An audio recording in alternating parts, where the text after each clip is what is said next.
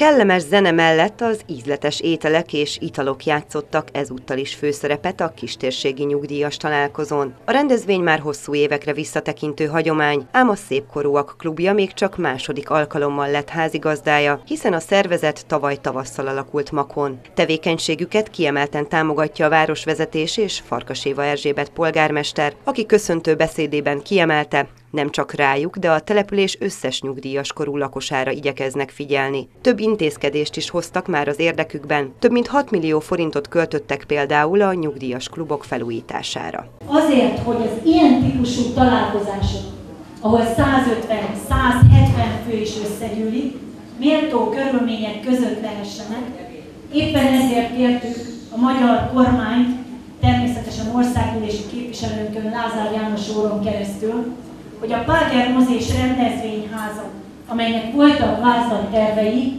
építsük meg, és ott az ilyen típusú 200-250 főt befogadó rendezvényeket meg tudjuk valósítani.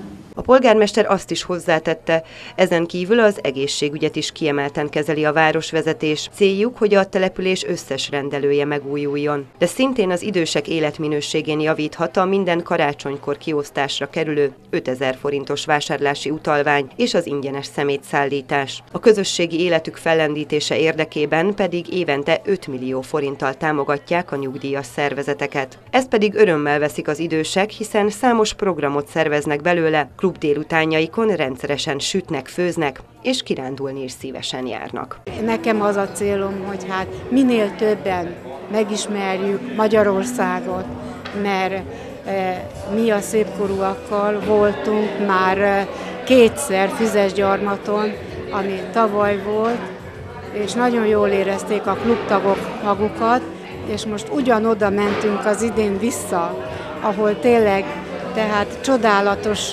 élménybe voltunk részünk. A találkozón a térség szinte minden településéről érkeztek a nyugdíjas klubok tagjai. Végül több mint 150-en gyűltek össze a jó hangulatú rendezvényen.